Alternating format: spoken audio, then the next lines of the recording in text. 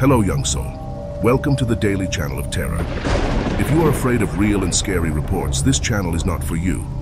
I suggest you get out of this video. But if you are not afraid to listen to these horror stories, I suggest you subscribe to the channel so as not to miss the next stories. Don't forget to leave your likes and comments help the channel a lot.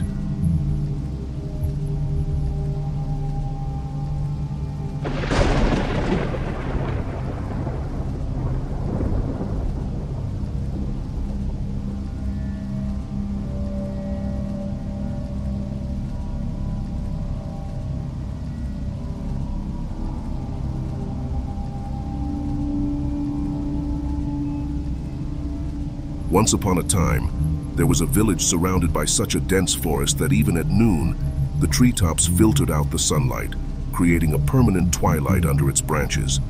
The villagers say that the forest is alive, whispering ancient secrets to those who dare to listen. Legend has it that as night fell, whispers became voices calling the careless to their dark depths. My name is John. And I never believed those stories until that night. I grew up in this village, a child playing on the edge of the forest, always warned not to venture beyond the known boundaries. As the only child of a single mother, I learned from an early age to take care of myself while she worked late. The forest has always been a constant presence in my life, a sleeping giant that I, in my reckless youth, decided to challenge that night. A challenge was proposed by my friend, and I spent the night in the woods, armed with a flashlight and bravely fueled by laughter and gossip. I went deep into the dark heart. The atmosphere changed as the daylight receded. The usual twilight, the crickets, the wind was replaced by an oppressive silence. It was as if the forest was holding its breath for something.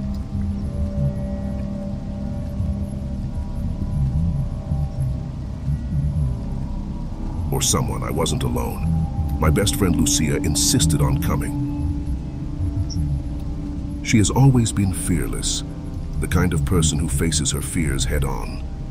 Together, we found a place to camp, a clearing where the full moonlight faintly illuminated the leafy ground. Do you hear me, Lucia? He broke the silence in a tense voice. It was then that we first heard a whisper that was almost inaudible like the wind, whispering, it must be just the wind. I tried to convince myself. More to calm my own fast-paced heart than to calm it, but the whispers increased, growing in intensity and number, as if several people were speaking at the same time, but without being able to understand the words. Lucia took my arm, her eyes wide open, reflecting the light of the moon. John, this is not normal. There's something wrong here. I mean, she was exaggerating, that it was just our imagination fed by the stories we grew up listening to. But then something moved between the trees and a fast, sneaky shadow passed by the moonlight. My heart is beating. It's not human. It's not animal. It's something else. It's something that doesn't belong in this world. Whispers became clear words calling our names. John Lucia was as if the forest knew us, as if it had been watching us, waiting. Let's get out of here, said Lucia, pulling me back to the trail. We ran in fear, giving wings to the nose of our feet, but the forest seemed to close around us. Trees bend down to create a dark maze. The way back was lost for us, transformed by some dark trick of the night. Now, as I write, with the light of my flashlight in my trembling hands, I hear the whispers approaching. Lucia is beside me, gasping for breath. Every shade that passes through the trees is a threat. We don't know what the night holds for us, but one thing is certain. The forest has life, and its secrets are as old as they are dangerous. And in the silence between the whispers, I finally understand that some stories are true, and some realities are more terrible than stories can ever tell. Darkness squeezed around us as we ran through each shadow. And every whisper that increases our terror, I could feel Lucia's fear as if it were mine, an electric current that connected us as we struggled to find our way back. But the forest wouldn't let us go.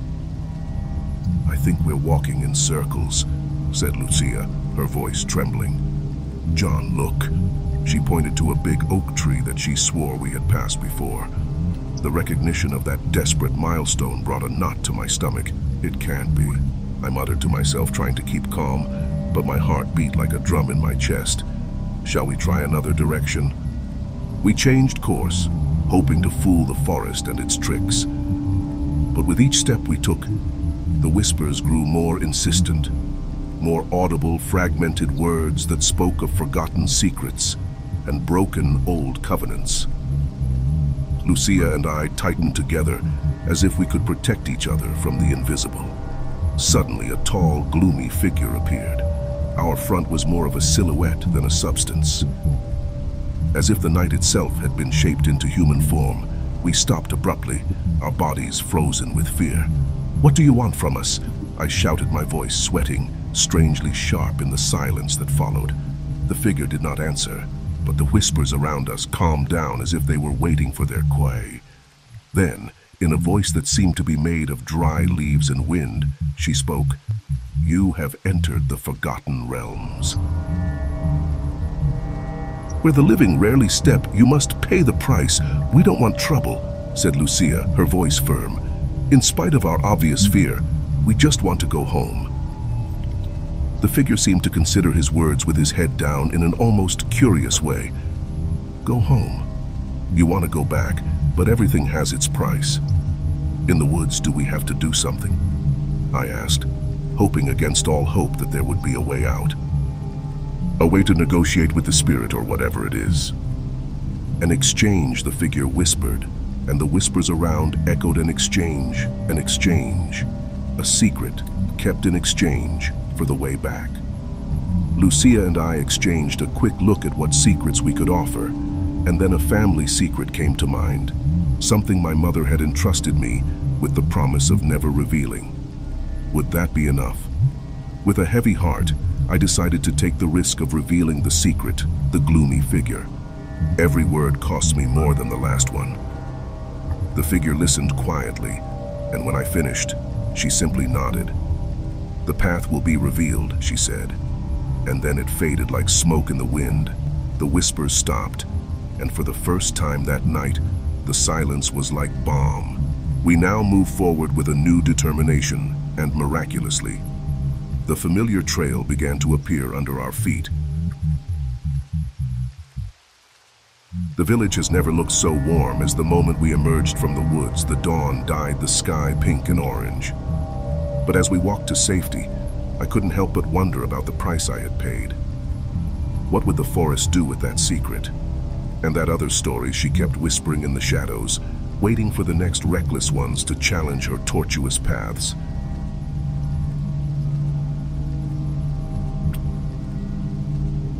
As the dawn slowly spread over the village, Lucia and I walked quietly with the promise of a new day. The relief of escaping from the forest was palpable, but there was a weight in our hearts, a remnant of fear, and the perception that something had irrevocably changed within us. By the time I got home, my mother was already standing, with a look of concern on her face that turned into relief when she saw me. John, where have you been? I was so worried. His voice trembled a little, the fear of a mother who fears her child. I tried to smile, trying to calm her down. It's all right, Mom. I just spent the night out. The hesitation in my voice was evident, and I saw the suspicion glow in his eyes. In the woods. She asked, her tone charged with a mixture of fear and reproach. She knew more about the forest than she had ever shared with me. Yes, I confirmed, lowering my head. Lucia and I chose not to mention the secret that was revealed the price we paid for our safety. Some truths were too heavy to share, even with those we loved. My mother, she sighed, running a hand through her hair, as if trying to sort out her thoughts. John, this forest she guards more than just trees and shade. You have to promise that you won't venture there again, especially at night. I promise to calm her down more than any conviction of my own. But inside, I knew that something in me had been drawn to those dark mysteries. A curiosity that burned stronger than any promise of security could be extinguished. In the days that followed, Lucia and I shared meaningful gazes at school, a silent connection forged on that night of terror. We talked little about what we had experienced, as if putting words in some way could make everything more real, more scary. However, the memory of the murmur of the dark figure and the secret revealed remains vivid in our minds. One afternoon, as he was walking in the village square, he saw a group of tourists with cameras hanging around their necks with an air of fascination. As they looked around, they talked excitedly about the beauty of the village and the mysterious forest that surrounded it. Part of me wanted to warn them, tell him about the dangers hidden in the shade of the trees, but the other party hesitates. Would the forest choose them as it had chosen us? And what would that mean? At night, in my room, the open window lets in the cool night breeze, accompanied by an almost imperceptible whisper. My heart beat faster at the recognition of the sound.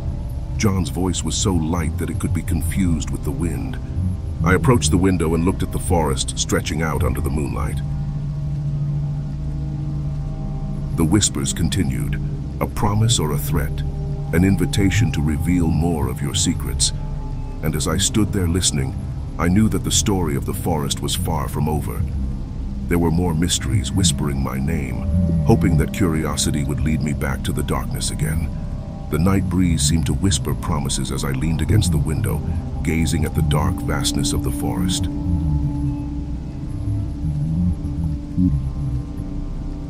The temptation to explore its mysteries again was strong, almost irresistible. But my mother's words echoed in my mind a gloomy reminder of the consequences of disobeying that warning. I walked away from the window, trying to ignore the call that seemed to come from the depths of the trees. He knew that the forest kept secrets that should not be disturbed, truths that could consume as much as illuminate.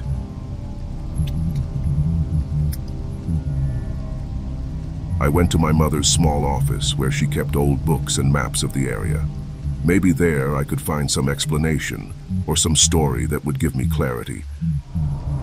Looking through an old compendium of local legends, I found a passage about the forest. The Whispering Forest, as it was named by the ancients, is said to be a place where the veil between the worlds is thin. Those who walk on their coops at night can find more than shadows. They can find glimpses of other realities or be touched by them. Reading made me shudder at every word, adding to the feeling that there was more at stake than I could comprehend.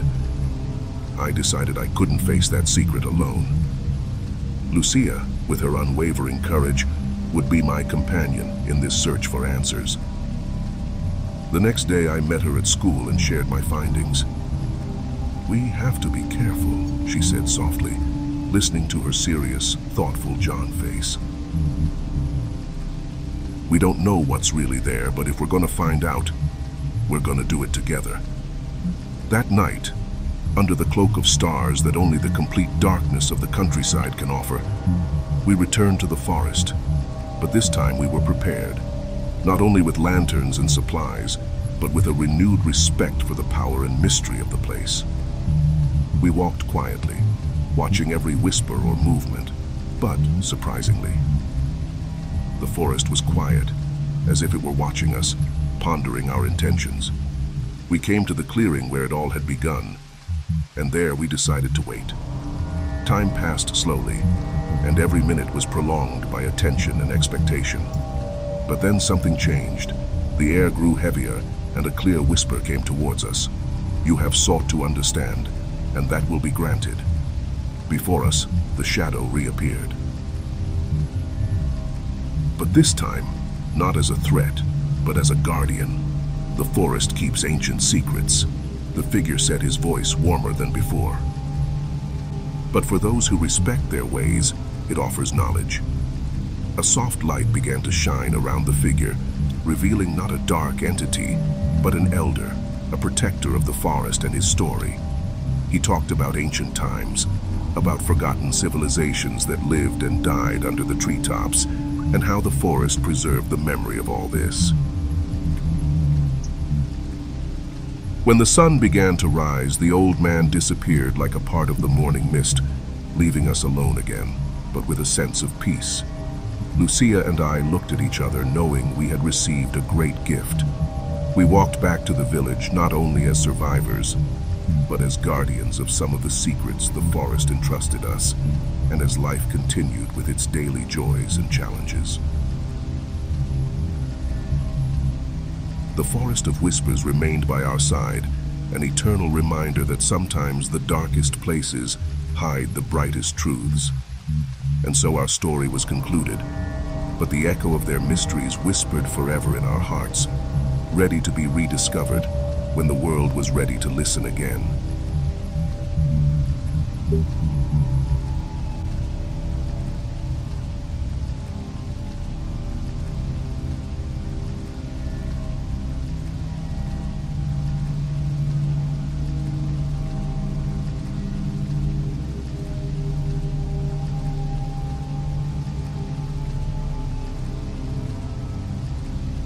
a city forged between legends and fog, the solar building stands like a monolith forgotten by time, its stories intertwined in the shadows of its long corridors. With its windows peeking into city life and a past whispering around the corners, the building seems to hold more secrets than its residents dare to discover, among them Valeria. A young woman determined to uncover the mysteries that the top floor seemed to hide, unaware that her quest would lead her through a veil far more dark and personal than she could have imagined. I've always been fascinated by the unknown. Perhaps that's why I moved to the Solar Building, a place my grandfather described with a mixture of respect and awe in his childhood stories. He used to say that buildings have their own souls and don't like to be disturbed. From the first day I was in my new apartment on the ninth floor, I knew there was something unusual about the top floor, the 12th floor. No one lived there, and the few who ventured up did not wait to come down, with frightened looks and little desire to talk about the experience. Curiosity has always been my weakness or my strength, depending on how you see it. In my first month at Solares, I spent hours investigating every floor. Talking to the neighbors about the history of the building until the clues inevitably led me to the top floor. I had to see for myself what was hidden behind those doors that seemed to seal more than just empty apartments. That night, a typical summer storm began to form in the sky with lightning dancing in the distance, promising a spectacle of thunder and wind. It was the perfect setting for my foray into the unknown. I went up the stairs because the elevator was conveniently under maintenance. With each step, the air seemed to get heavier, and the whispers of the wind on the stairs sounded almost like distorted voices. When I got to the 12th floor, the front door was half open, as in inviting or challenging. Whoever had the courage to come in, I pushed her gently, and the hinge clanged back down the empty hallway. The lights flashed intermittently, casting shadows that danced on the walls like ghosts or beetles, Every step of my life echoed a sound that sounded both a warning and an announcement of my presence. The hallway was colder than the rest of the building, and a damp, musty smell permeated the air. I started exploring the apartments. They were all empty, some with furniture marks on the dust piled up on the floor, others completely clean, like no one ever stepped there. In one of them, I found a mural of old photographs with faces I swore I would have seen in the hallways or windows of the building. Then I heard the first sound, a clear, soft scratch, as if someone were drawing a symbol on one of the doors at the end of the corridor, and my heart was so cold that I was sure anything on the floor could hear it. Rationality told me to run, but my thirst for answers kept me there, rooted in the cold ground, the scratches stopped, and in the silence that followed, a sudden chill passed me like a warning. I continued my exploration, although every shadow now seemed to hide a threat. In one of the apartments farthest from the hallway, I found a diary covered in a thin layer of dust. The cover was worn out, the pages were yellow, but the letters were still legible. It was from a woman who lived there in the 50s and talked about how the sounds and visions on the floor kept her awake. During the nights, she would write about voices whispering her name. I followed Lass during the day about how the shadows looked and how she felt something or someone was always watching. As I turned every page of the diary, a strong sense of connection grew inside me, as if the words I had written decades ago echoed my own fears and curiosity. Each entry describes details that only those who have experienced the ordeal of the 12th floor can know.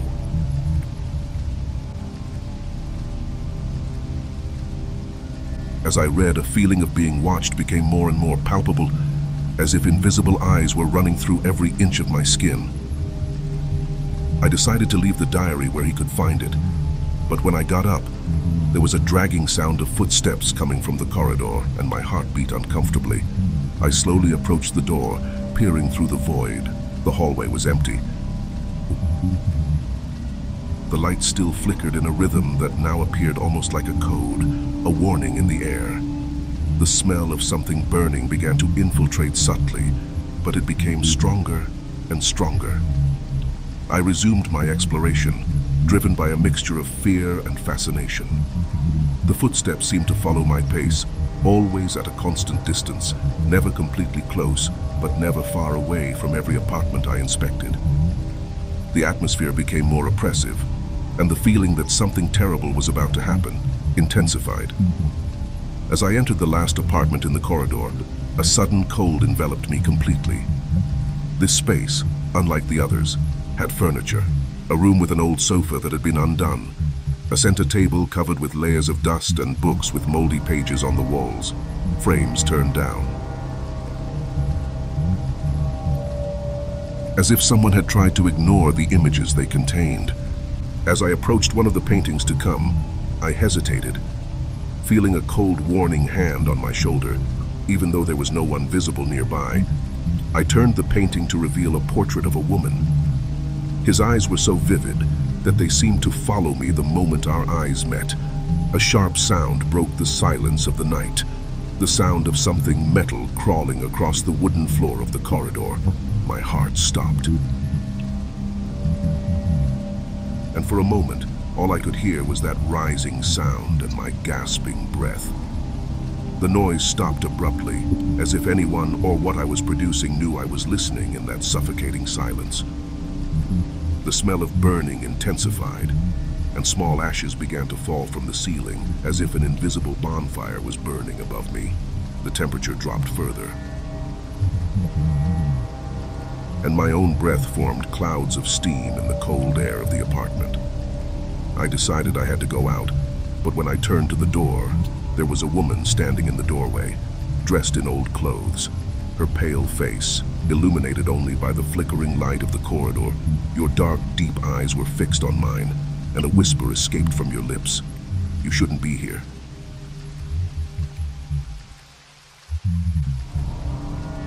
Before I could answer, she was gone like smoke, leaving only the echo of her warning.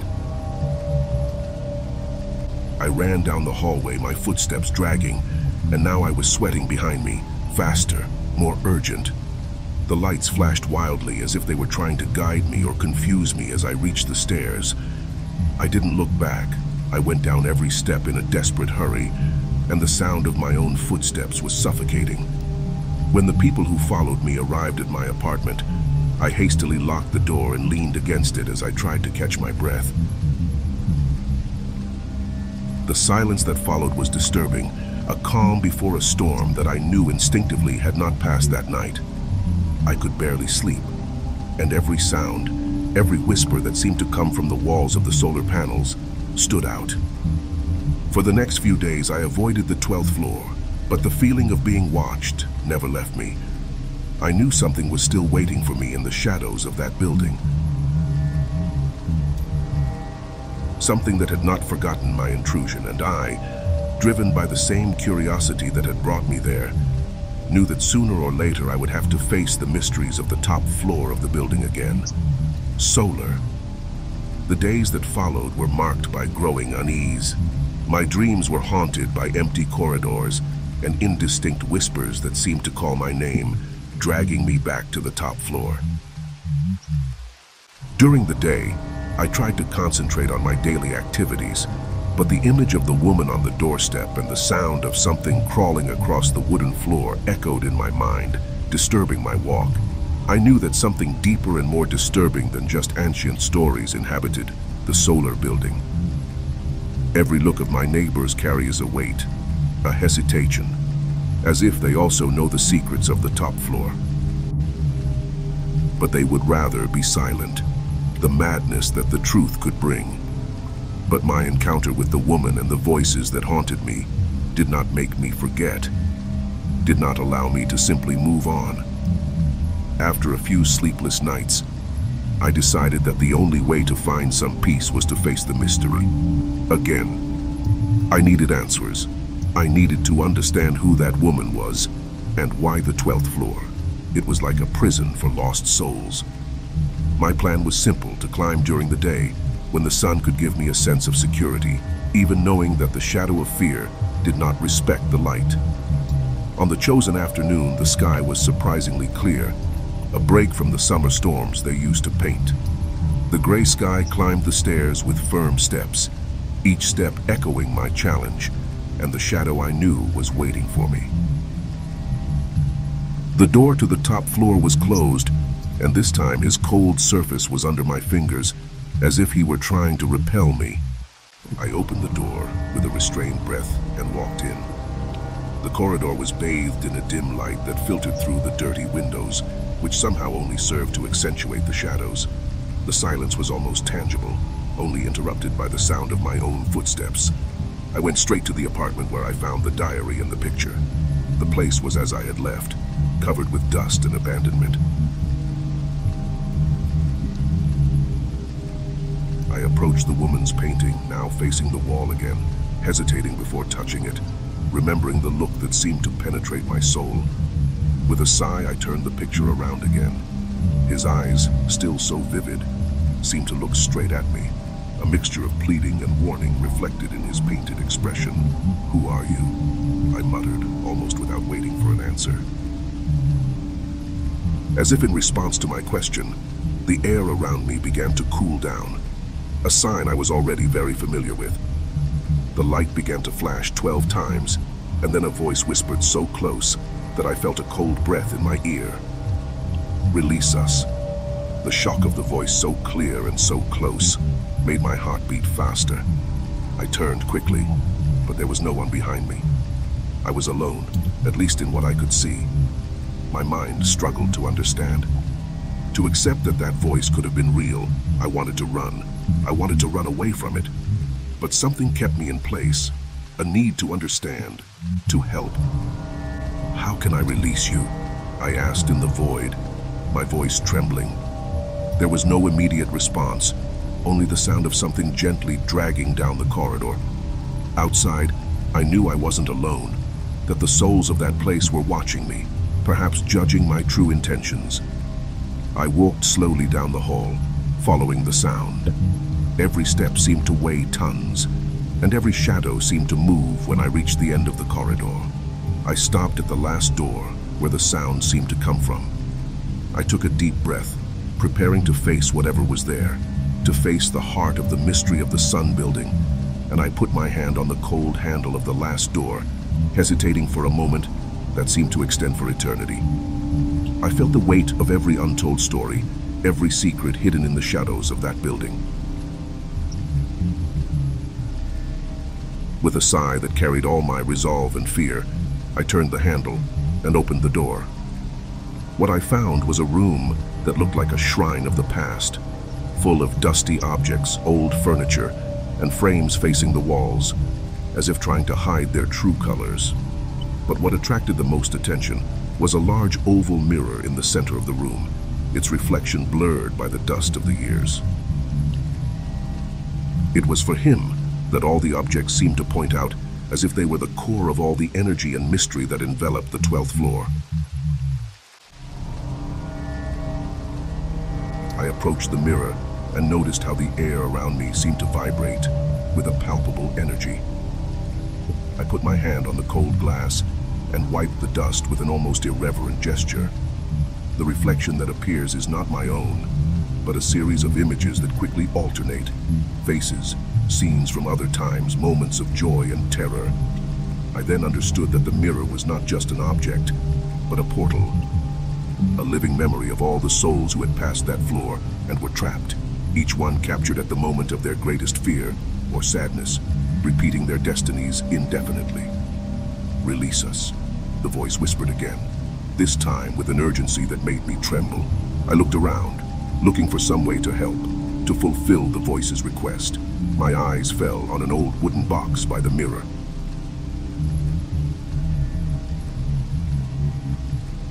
Covered with symbols that seemed ancient and mystical, I found candles and a small leather book with instructions for a ritual. With trembling hands, I followed the guide, placed the candles around the mirror, and lit each one by muttering the old words I hoped would be the key to the freedom of those souls. The candlelight reflected in the mirror, and the images began to rotate faster. A whirlpool of lives and emotions that merged into a dance of light and shadow. Then, as suddenly as it began, everything stopped.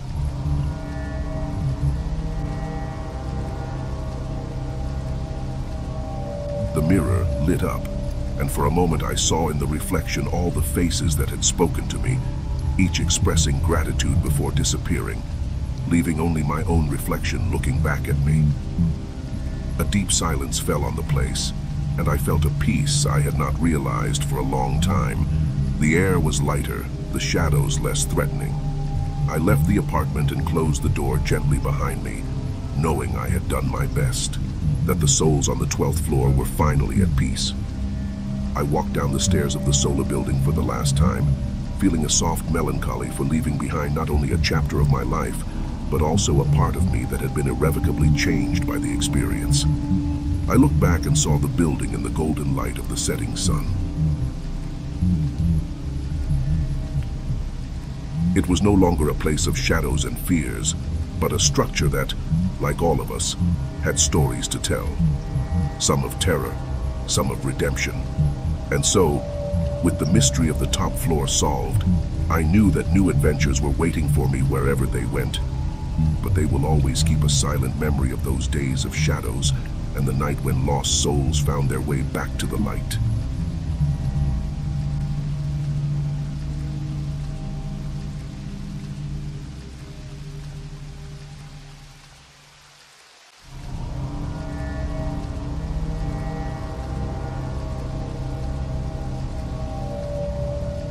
In the shadows of the past, in the whispers of the night wind, lay a forgotten city, far away from the curious eyes of the world. It hides in the twists and turns of time, shrouded in the dark mystery that echoes through the ages. Few dare to venture through its abandoned streets, fearing to awaken the secrets buried on its stone foundations. And it was in this lost city that my dark journey began. I'm Miguel, a solitary traveler in search of answers to unanswered questions. My journey led me to the edge of a deserted road, where a rusty sign showed the way to a city that the world had forgotten. Curious and driven by an inexplicable sense of destiny, I decided to explore the hidden mysteries of that forgotten city. As I entered the dark limits of the city, a feeling of uneasiness enveloped my being as if the stone walls themselves whispered ancient secrets in my ears. Empty streets stretched out before me, flanked by dilapidated buildings and dancing shadows that seemed to move on their own. Night fell slowly, casting a veil of darkness over the sleeping city. A shiver ran down my spine when I realized I wasn't alone. A sinister shadow writhed in the dark alleys, watching me with oil, lifeless, that shone in the darkness. As I explored the dark corners of the city, a sense of impending danger seized me. Every step is a dangerous dance with the unknown, a struggle to uncover the secrets buried beneath the silent surface of the city. The abandoned buildings whispered the stories of lost lives and forgotten tragedies, while I walked through the deserted streets.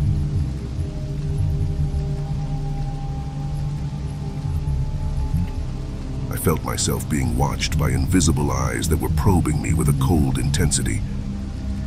But it was when I entered the central square of the city that the true nature of its horror was revealed.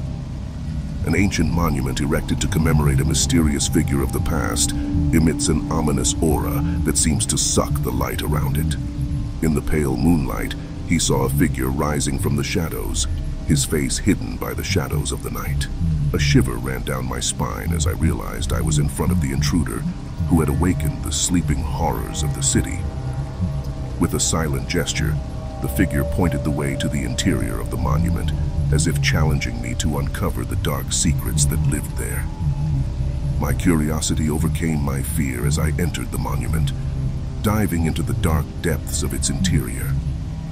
A steep staircase stretched out in front of me, leading me to the unknown depths below. Each step was a deeper descent into the dark abyss of the city, where ancient secrets were waiting to be discovered. As I descended deeper and deeper into the city, a sense of oppression came into being, as if the walls themselves were closing on me. The darkness became palpable, and I was wrapped in his arms, cold and ruthless. I finally came to an underground chamber, where an ancient altar rests in the center of a room lit by ancient torches, strange symbols adorn the walls, ancient inscriptions carved in stone that seem to be pulsating, with an ancient and sinister energy. It was then that the dark figure came out, emerging from the shadows like a vengeful specter of the past. His eyes gleamed with a supernatural light fixed on me, with a penetrating intensity that seemed to probe the depths of my soul. In a whisper, the figure told me the story of the forgotten city, how she had been cursed by an ancient crime that had stained her soul forever. Since then, the shadows of the city have been inhabited by tortured spirits seeking revenge for past sins. By listening to the intruder, I understood the true nature of my journey and the price I would pay to uncover the dark secrets of the forgotten city. My curiosity had awakened the sleeping horror, and now I was caught in a battle between light and darkness that would define my destiny forever. And so, under the light of the ancient torch, I prepared myself to face the horrors that awaited me in the shadows of the forgotten city, knowing that my journey had just begun and that the real horrors were yet to come. The gloomy figure reached out to the ancient altar, summoning an ancestral energy that echoed through the city's underground chambers. Forgetting every word whispered in an old unknown language, the room trembled with a supernatural force that seemed to distort the reality itself around us.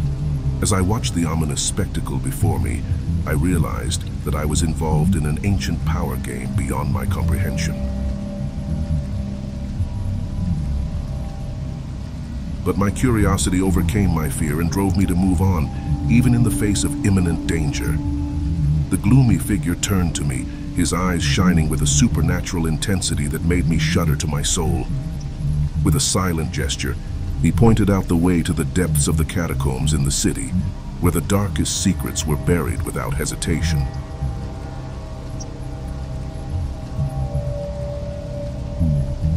He followed the footsteps of the invaders through the dark, winding passages that stretched over the forgotten city. Each step was a deeper journey into the dark heart of the city, where the true evil resides in patient waiting. As we advanced through the dark insides of the city, I felt a sinister presence watching us from the shadows. A cold sense of terror took over me when I realized we weren't alone in those abandoned hallways.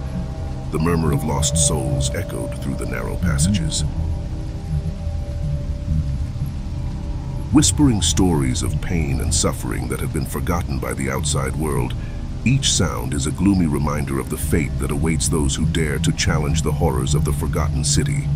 At last we came to a hidden chamber, where an ancient presence waited patiently in the shadows. A primitive sense of terror took over me when I realized the true nature of the evil that inhabited that sacred place.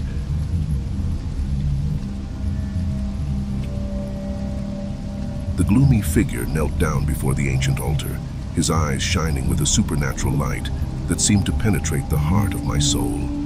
In a whisper, he began to recite an ancient call, awakening the sleeping horror that had been waiting in the depths of the abyss. As I watched helplessly as the supernatural powers unfolded before me, I realized that my journey had come to a dark crossroads. I was about to face the real evil that had taken root, its presence in the heart of the Forgotten City, and the outcome of the ensuing battle that would determine my fate forever. With my heart beating uncontrollably in my chest, I prepared myself to face the horrors waiting in the shadows, knowing that my journey was far from over and that the real horrors were yet to come, with a solemn gesture. The gloomy figure raised an ancient artifact, and its pulsating light seemed to feed the darkness around us. A feeling of oppression weighed on me. As I watched helplessly as the events unfolded before my eyes, the air around us seemed to vibrate with sinister energy as if the world itself were reacting to the dark ritual unfolding before us, every beat of my heart. It was an echo of fear that spread within me as I prepared to face the evil that awaited me in the shadows. Suddenly, the walls of the chamber began to shake, as if the world itself were giving way to the supernatural powers emanating from the ancient altar. A shiver ran through my spine as I realized we weren't the only ones attracted by the darkness that now unfolded before us. The sinister shadows writhed on the walls, taking shape and life as they moved towards us. A sense of despair took over me when I realized that we were surrounded by a horde of creatures that did not belong in this world. With a cry of defiance, the gloomy figure lifted the ancient artifact triggering a burst of energy that tore the veil between the worlds and released the horrors that lurked in the depths of the abyss. The air around us was filled with the shouts of lost souls echoing through the underground chambers of the Forgotten City. Amid the chaos unfolding around us, I struggled to maintain my sanity while facing the horrors that rose from the shadows. Every blow is a dangerous dance with death, a desperate struggle for survival. In the midst of the nightmare unfolding in front of me as I fought for my life, a whisper echoed in my mind, promising power beyond my imagination in exchange for my soul. A dark dilemma arose before me when I realized that the only way to defeat the evil now spreading in the Forgotten City was to embrace the darkness that dwelt within me. With a heavy heart, I made the choice that would change the course of my destiny forever, surrendering myself to the dark forces that now threatened to engulf everything around me. In the beating light of the ancient torch, I became the catalyst for the destruction unfolding before us, sacrificing my soul to save the city from the darkness that consumes it. And so, while the world around me was crumbling in flames and ruins, I knew that my journey was not yet over. For wherever darkness reigns, there will always be a lone warrior ready to face the evil that lurks in the shadows of the night. Shrouded in the darkness of my own creation, I plunged into the depths of the abyss, carrying the weight of my choice and the burden of my salvation. As the flames consumed the Forgotten City, a sense of tranquility seized me, knowing that my journey would come to an end. In the distance, I heard the distant cries of the lost souls who were now wandering aimlessly through the ruins of the city, their voices echoing through the shadows like the horrors I had witnessed. But inside me, a glimmer of hope shines, reminding me that even in the depths of darkness, there is always a chance for redemption. And so, while the ashes of the forgotten city were carried away by the night wind, I rose from the ruins like a phoenix, reborn from the flames, ready to face a new dawn and a new destiny. For, although the scars of my journey may never disappear completely, I know they have made me stronger, wiser, and more determined than I could have imagined. And so, with the last look back, I left the shadows of the past and moved on, knowing that wherever my path leads me, I will always be ready to face the horrors lurking in the shadows of the night, bravely, determined and unwavering in faith in the power of light to overcome darkness.